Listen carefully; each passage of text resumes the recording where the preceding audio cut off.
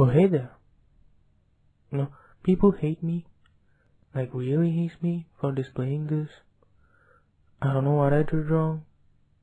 Or where I went wrong. This is my job, you know. Sorry for that. Um, uh, yeah. Uh, like, I'm just following orders.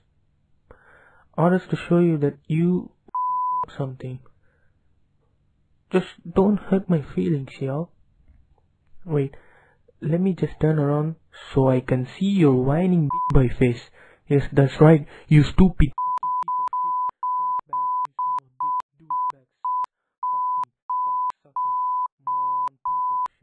Yeah, you really fell for it, didn't you? You lose.